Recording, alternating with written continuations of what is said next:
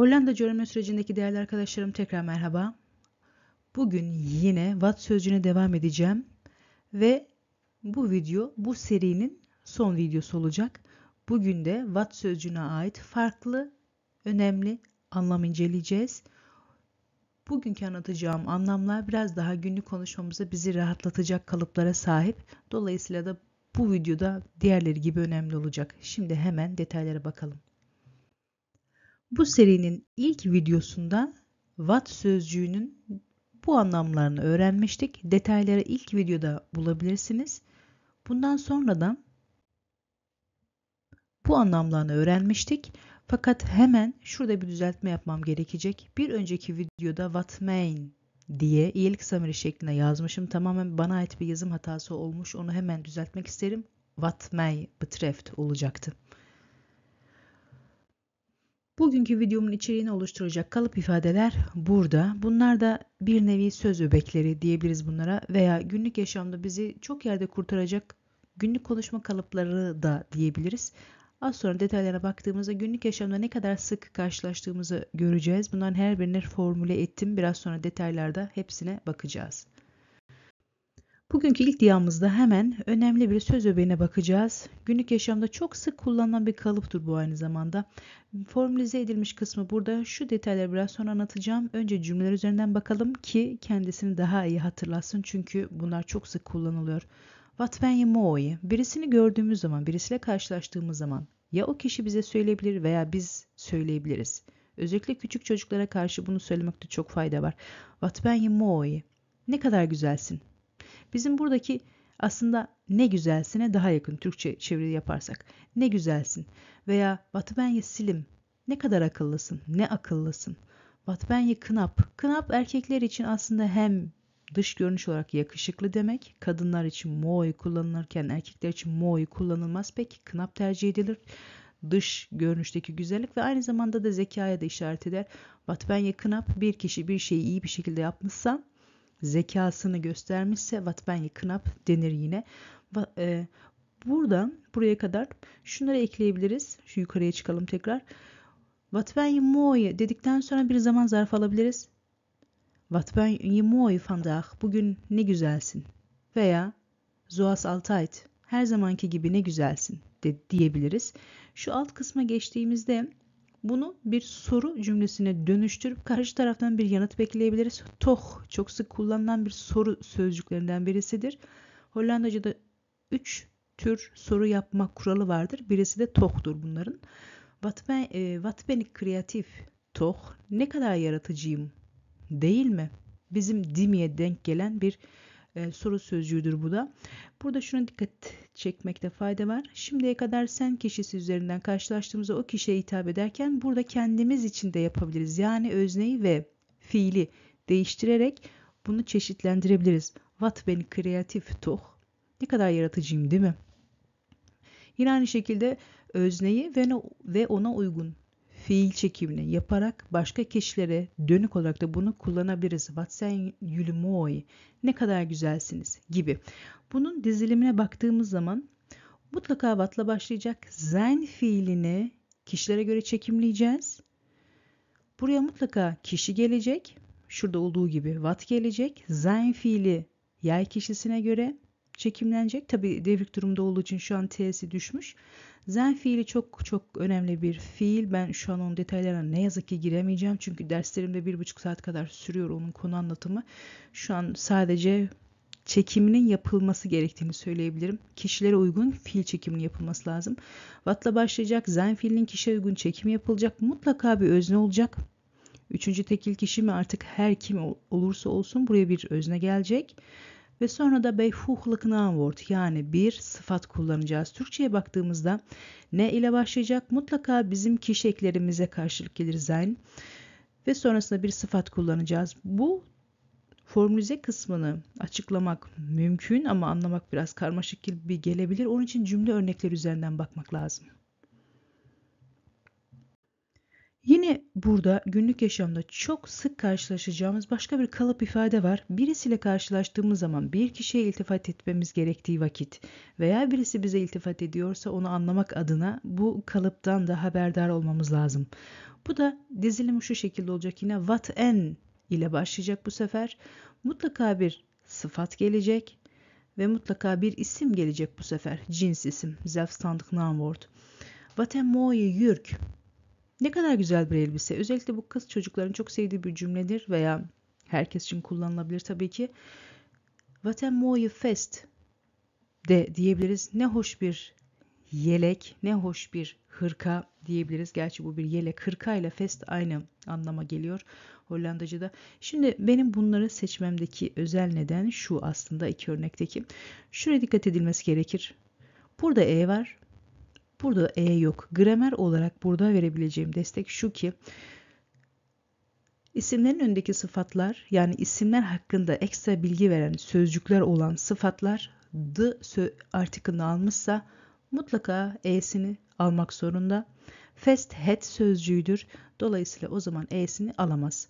Yani özel kural şudur ki het sözcükleri ön ile belirtilmişse e alamazlar.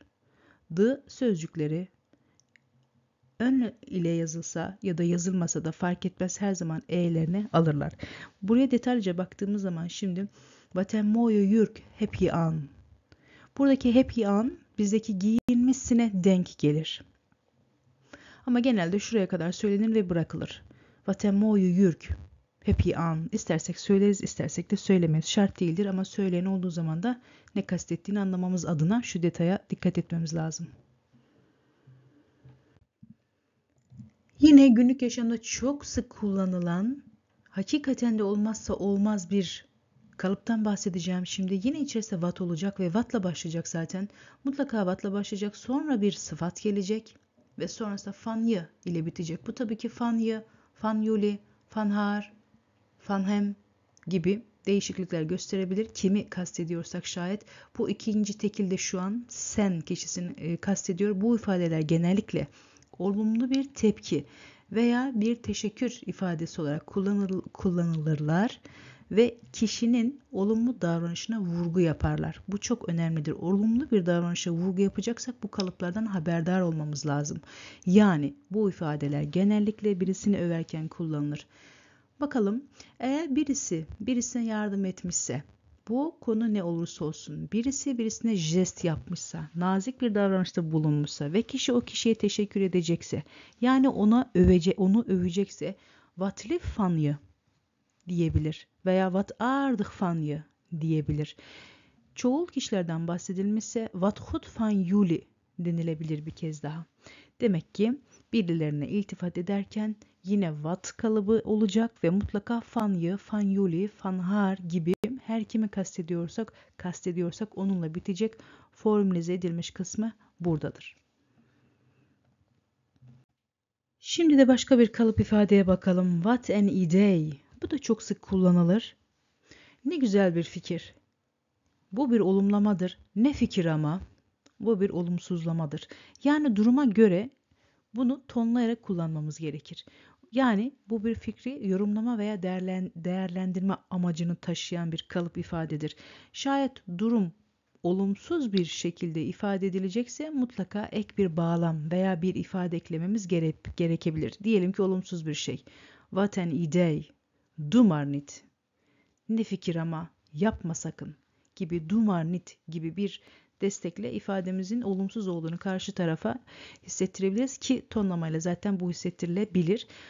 Aynı zamanda ne güzel bir fikir gibi bir durumda da bu kullanılabilir. O zaman o doğru tonlamayla yine what any day deyip karşı tarafa duyguyu aktarabiliriz. Bu da Hollanda'nın soğuk günlerinde kullanılabilecek güzel bir ifade. Kişiler karşılaştığı zaman birbirlerine bunu söyleyebilirler. What is it koud vandaag? Bugün ne kadar soğuk, ne soğuk ya gibi bir anlama gelir bu da. Şimdi de What ifadesine bakalım. You what. Şu T ile J yan yana geldiğinde Ç sesine yaklaştırırlar. What'a yaklaşır. Dolayısıyla telaffuzu biliyor musun gibi bir anlama gelir. Je wat ifadesi Hollandaca'da oldukça yaygın kullanılıyor yine. Bu ifade Türkçe'de biliyor musun? Baksana ne diyeceğim sana gibi anlamlara gelir. Bu ifade genellikle bir konuşmada bir konuya geçiş, bir konuya giriş yaparken veya bir öneri, bir düşünceyi paylaşırken kullanılır. Biraz konuya giriş cümlesidir yani. Örneklerine bakalım. Morgen gaan we samen naar de bioscoop. Biliyor musun? Yarın birlikte sinemaya gidiyoruz. Gibi. Baksana ne diyeceğim. Yarın birlikte sinemaya gidiyoruz.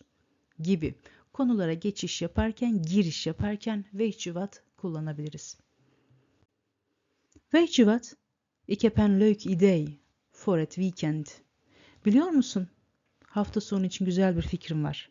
Yine konuya giriş için böyle bir güzel giriş kalıbı ihtiyaç olduğunda kullanılabilir ki kullanılmalıdır da.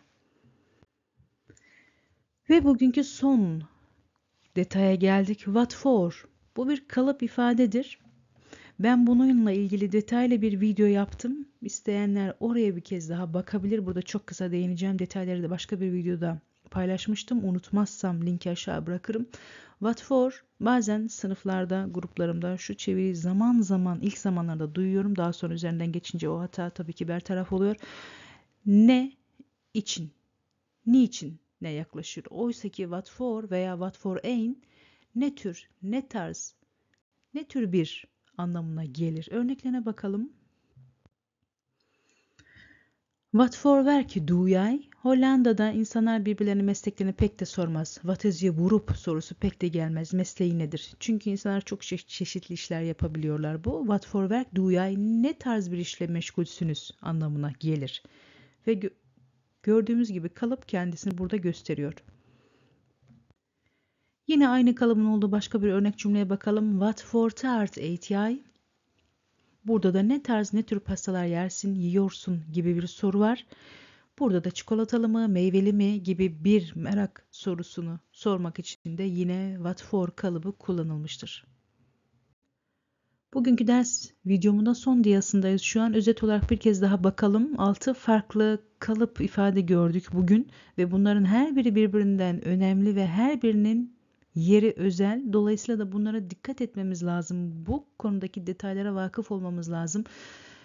Özet olarak baktığımızda wat ben je mooi, wat ben je slim gibi bir ifade kullanmak istiyorsak, mooie jurk gibi bir ifade kullanmak istiyorsak, je gibi bir şey söylemek istiyorsak, what an idee gibi bir şey söyleme ihtiyacımız varsa, weet je what gibi bir giriş ifadesine ihtiyacımız oluyorsa ve en nihayetinde what for veya what for ain gibi ne tür ne tarz gibi bir şeyler sormak istediğimizde kullanacağımız ana kalıp ifadeyi de bir kez daha üzerinden geçmiş olduk ki şunun kendine ait özel bir videosu var kanalda. Bugünkü ders videomun da sonuna geldim. Buraya kadar dinleyen herkese teşekkür ederim. Bu serinin ihtiyacı olan herkese ulaştırılmasını rica ediyorum. Çünkü bu konu zor bir konudur. Şayet Hollandaca ile meşgul olduğunu bildiğiniz kişiler varsa bu videoları onlarla paylaşmanız onlar için de hoş olur. Benim için de hoş olur. Çünkü ne kadar çok insana ulaşabilirsem o kadar mutluluk duyarım ben de. Başka bir ders videosuna görüşmek üzere. Hoşçakalın.